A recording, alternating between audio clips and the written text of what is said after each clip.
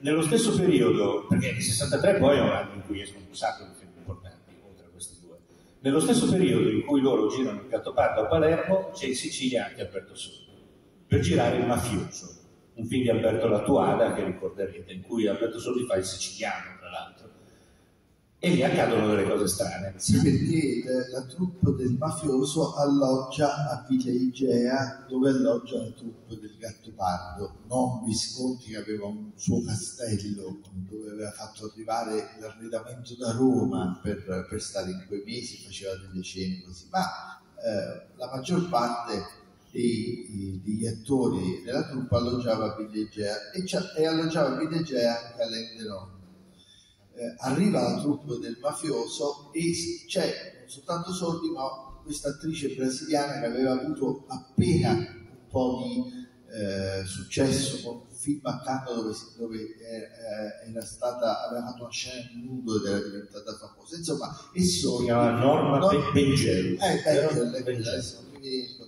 Norma Bengel che non sembra una brasiliana poi una biondina. Sì, nel film infatti fa una milanese. Esatto invece è una brasiliana con cui Sordi intreccia immediatamente una reazione. Arrivano a Villa Egea e Norma Belger vede Alain Delon. E a quel punto Alain Delon... E poi che avreste fatto? A quel punto comincia a chiacchierare al, al bar, una sera eh, Norma Belger dice a Alain Delon di andare in camera sua. E vanno in camera. Sordi se ne accorge e a un certo punto va a bussare a questa e succede una scena, la commedia all'italiana come, come, eh, come sta per nascere, no? la vera commedia all'italiana di quel tipo. Fa una scena di un film di sordi, cioè comincia a bussare eh, Alain Delon i vestiti sotto al letto e poi scappa sul terrazzo addirittura. Quindi i sordi poi sfonda la porta e non c'è nessuno, però trova degli stivali di da uomo sotto il letto, ma non c'è più Alain Delon.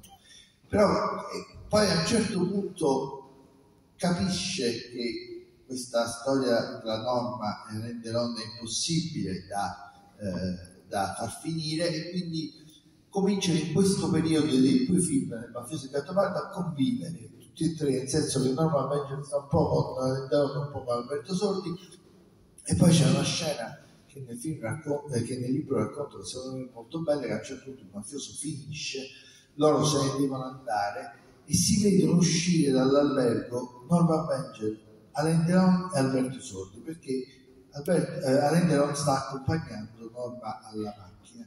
E, al, e Alain Delon ha le valigie di Norma Bengel in testa perché cioè, la sta trasportando un valigione enorme e Sordi dice a me va la valigia in testa invece vede nessuno. Quindi alla fine in qualche modo Sordi vince Curiosità, Francesco, dove l'hai trovata questa storia? Su, su, qualche rivista di gossip? No, l'ha raccontata secondo me Alberto Anile in una Repubblica Palermo di, di anni fa, quindi, eh, e poi c'era anche un libro, quindi l'ho messo insieme. E, e, però, Ma ci sono foto di cronaca dell'epoca di... Beh, di l'oncola originale no, no, non, non, non si trova? Peccato però Norma Bengel c'è e, e vi consiglio di vederla.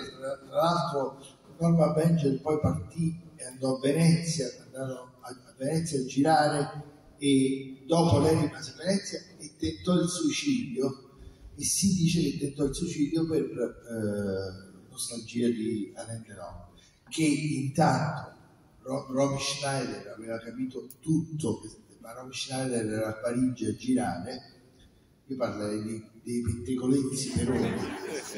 E, e, e Rob Schneider disse ok, devo andare. E infatti arrivò lì, Luchino Visconti disse Romy vieni, aiuto. e da lì loro si aggiustavano tutto, ma non va bene evidentemente, insomma, soffrì.